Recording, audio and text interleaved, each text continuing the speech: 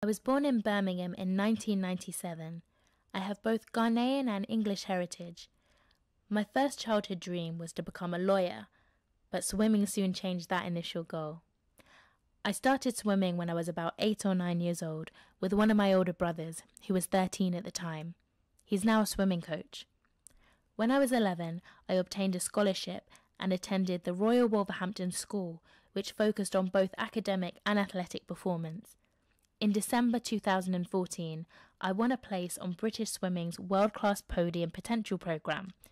Swimming has opened up the world to me as I get to travel to compete. Some of the places I've visited are Portugal, the Netherlands, Hungary, Qatar, South Korea, and Russia.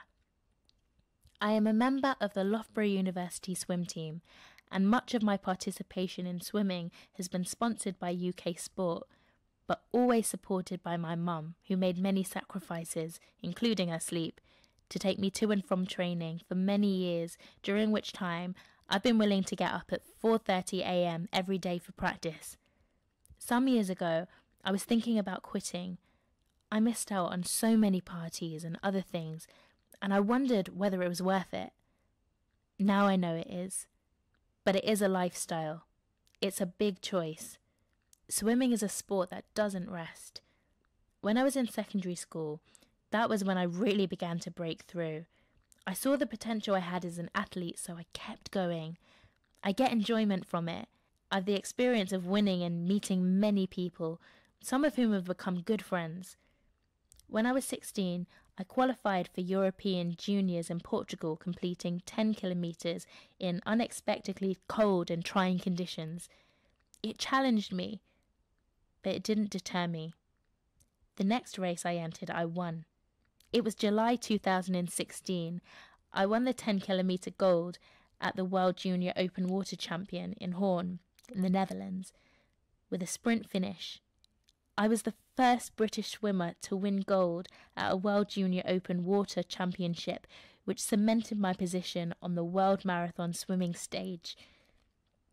I have a great sense of achievement from swimming even including the training now, but also getting a PB, personal best. I swim around 50 to 60 kilometres each week.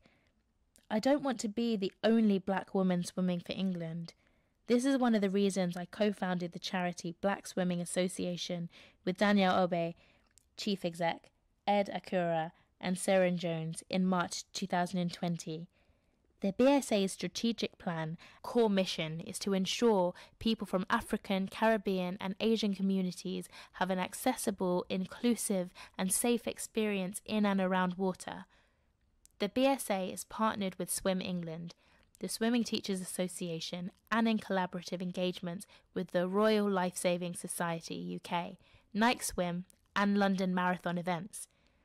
If I can inspire one girl or boy, anybody, to get into the water and give it a try, I've done myself proud, genuinely. That is the aim in it all. I have been highly placed in many national and international events since I started open water swimming when I was 13 years old, over 10 years ago. At the end of 2019, I was voted by The Telegraph as one of the top 50 sportswomen of the year. I strive for excellence in and out of water Outside of swimming, I'm a postgraduate currently studying for an MA in social media and political communication. This is another degree I have studied at Loughborough University. I've been in higher education for six years. In my initial degree, I gained a BA Hons in politics with a minor in English. I have extremely full days with swimming practice, study, and work, but balance is important, so when I have free time, I often play video games to unwind. In June 2021, I became the first black female swimmer to represent Britain at an Olympics. Team Great Britain confirmed my place to the Tokyo Olympics at a qualifying event in Portugal. I'm really happy at being the person to break this barrier. It's a really exciting moment for myself and for black history and black culture. At the same time, it's such a shame it took as long as 2021 to get to this point, as a Great Britain Olympics team started in 1896. it has just been decades of historical and cultural racism which has sadly seeped into the swimming community and swimming in general for quite some time. But like all athletes, I want to be known for my achievements, not just for my race.